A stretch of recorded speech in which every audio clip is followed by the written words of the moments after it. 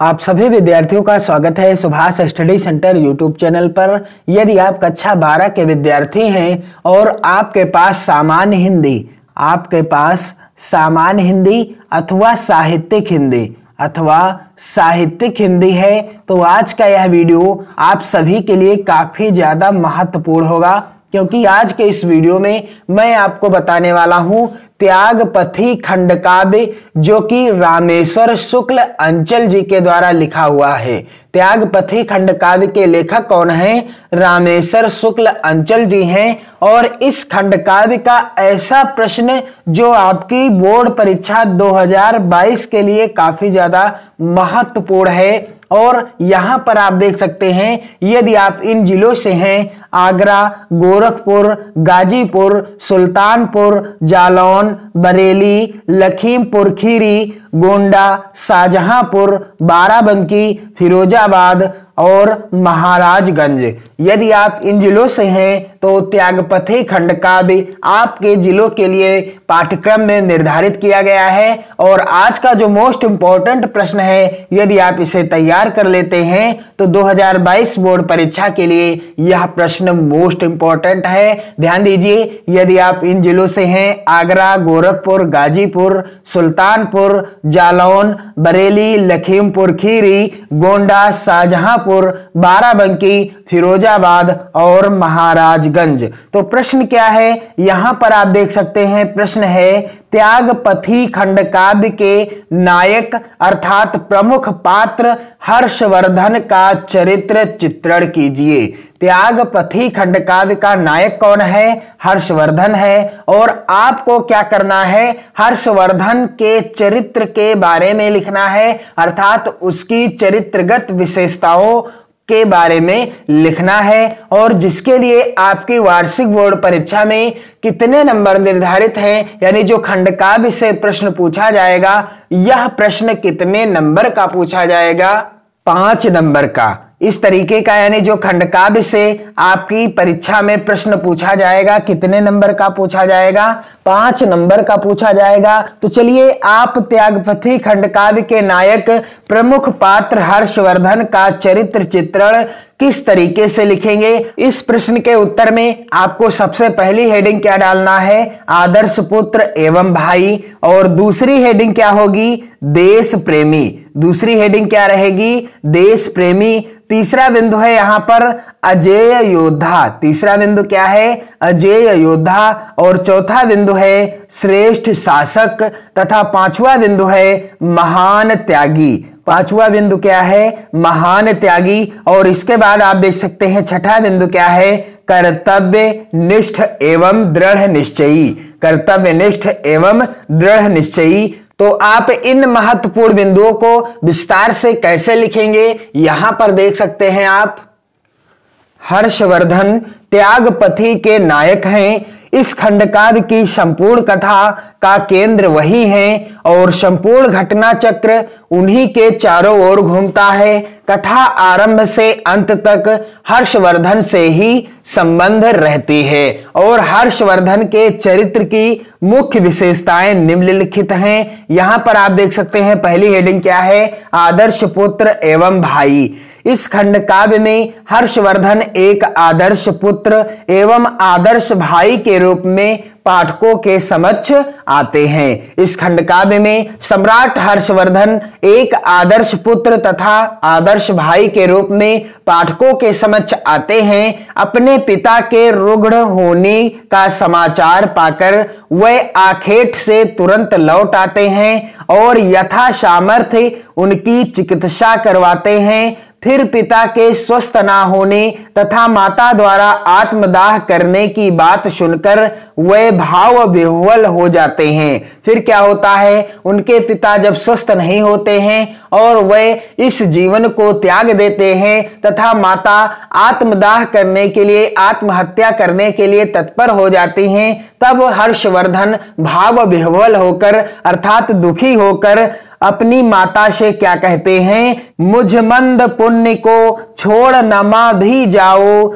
छोड़ो विचार यह, मुझे चरणों में लिपटाओ। और इसके बाद आप देख सकते हैं, आदर्श पुत्र के समान ही वह आदर्श भाई का कर्तव्य भी पूरा करते हैं। वह अपनी बहन राजश्री को अग्निदाह करने एवं संन्यास लेने से रोकते हैं। बड़े भाई राजवर्धन के प्रति भी उनका अपार प्रेम है। इसके बाद आप देख सकते हैं, दूसरा बिंदु क्या है? देश प्रेमी दूसरा बिंदु है देश प्रेमी हर्षवर्धन सच्चे देश प्रेमी हैं। उन्होंने छोटे राज्यों को एक साथ मिलाकर विशाल राज्य की स्थापना की। सम्राट हर्षवर्धन ने छोटे छोटे राज्यों को एक साथ मिलाकर के विशाल राज्य की स्थापना की। देश की एकता एवं रक्षा हेतु वह बड़े से बड़ा युद्ध करने से भी नहीं हिचकते थे। उन्होंने एक बड़े राज्य की स्थापना ही नहीं की, वरन धर्म पूर्वक शासन भी किया। देश सेवा ही उनके जीवन का व्रत है। इसके बाद आप देख सकते हैं, अगली हेडिंग है, अजय योद्धा तो हर्षवर्धन एक अजय योद्धा हैं। विद्रोही उनके तेज बल के आगे ठहर नहीं पाता। कोई भी राजा उन्हें पराजित नहीं कर सका। हर्षवर्धन को कोई भी राजा पराजित नहीं कर सका। भारत के इतिहास में महाराज हर्षवर्धन की दिग्विजय उनका युद्ध कौशल और उनकी अनुपम वीरता स्वर्णाक्षरों में लिखी है और इसके बाद आप देख सकते हैं अगली हेडिंग्स क्या है? श्रेष्ठ शासक। महाराज हर्षवर्धन एक श्रेष्ठ शासक हैं। उनका संपूर्ण जीवन प्रजा के हितार्थ ही समर्पित है। महाराज हर्षवर्धन ने अपना संपूर्ण जीवन प्रजा के हित में ही लगा दिया। उनका शासन धर्म शासन है। उनके शासन में सभी जनों को समान न्याय एवं सुख उपलब्ध है। सम्राट हर्षवर्धन के शासन में सभी लोगों को, सभी प्रजा को समान न्याय और सभी को सुख उपलब्ध है। और इसके बाद आप देख सकते हैं अगली हेडिंग क्या है? महान त्यागी। हर्षवर्धन महान त्यागी एवं आत्मसंयमी हैं। हर्षवर्धन का अगला गुण क्या है? महान त्यागी होने का और वे महान त्यागी एवं आत्मसंयमी है। आत्म संयम एवं सर्वस्व त्याग करने के कारण ही कवि ने उन्हें त्याग पथी के नाम से पुकारा है। आत्म संयम एवं सर्वस्व त्याग करने के कारण ही कवि ने उन्हें किस नाम से पुकारा है? त्याग पथी के नाम से पुकारा है। प्रयाग में छह बार अपना सर्वस्व प्रजा के लिए दे देना उनके महान त्याग का प्रमाण है। प्रयाग में, अर्थात प्रत्येक पाँच वर्ष में, सम्राट हर्षवर्धन प्रयाग को जाते थे और अपना सर्वस्व वहाँ पर दान कर देते थे। यहाँ तक कि अपने वस्त्रों को भी वह दान कर देते थे। और यह दान उन्हें काफ़ी ज़्यादा प्रसिद्ध बना देता है। सर्वस्व दान के बाद वह अपने पहनने के वस्त्र भी अपनी बहन राजश्री से मांग कर पहनते हैं। अर्थात उस दान में ये अपनी वस्त्र भी दान कर देते हैं और पहनने के लिए अपनी बहन से अपने लिए वस्त्र मांगते हैं। दिए सम्राट ने निज वस्त्र आभूषण वहाँ पर, बहन से भीख में मांग वस्त्र पहना वहाँ पर। सम्राट हर्षवर्धन की अगली चारित्रगत विशेषता क्या है? कर्तव्यनिष्ठ एवं दृढ़ निश्चयी। सम्राट हर्ष ने आजीवन अपने कर्तव्य का पालन किया। प्रारंभ में इच्छा न होते हुए भी अपने भाई के कहने पर राज्य संभाला और प्रत्येक संकटापन्न स्थिति में अपने कर्तव्य को निभाया। बहन राजश्री को वनों में खोजकर वह अपनी कर्तव्य निष्ठा का परिचय देते हैं तथा भाई की छल से की गई हत्या का समाचार सुनकर उन्होंने जो प्रतिज्ञा की थी, उससे उनके दृढ़ निश्चयी का पता चलता है।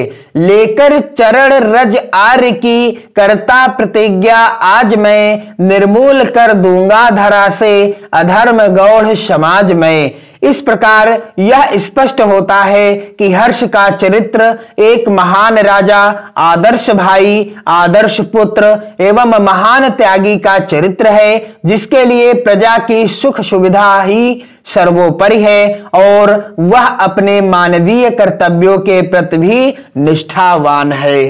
तो कुछ इस तरीके से आप त्यागपथी खंड काव्य के नायक अर्थात प्रमुख पात्र हर्षवर्धन के चरित्रगत विशेषताओं का वर्णन कर सकते हैं और पाँच नंबर बिल्कुल पक्के कर सकते हैं बोर्ड परीक्षा में। और आप कमेंट कीजिएगा कि आप दिए गए इन जिलों में से किस ज़िले से हैं? आगरा, गोरखपुर, गाजीपुर, सुल्तानपुर, जालौन, बरेली, लखीमपुर, खीरी, गोंडा, शाहजहांपुर, बाराबंकी, फिरोजाबाद अथवा महाराजगंज। आप कमेंट ज़रूर कीजिएगा अपनी मेहनत और लगन के साथ 2022 बोर्ड परीक्षा की बेहतर तैयारी करते रहिए पढ़ते रहिए मस्त रहिए। जय हिंद।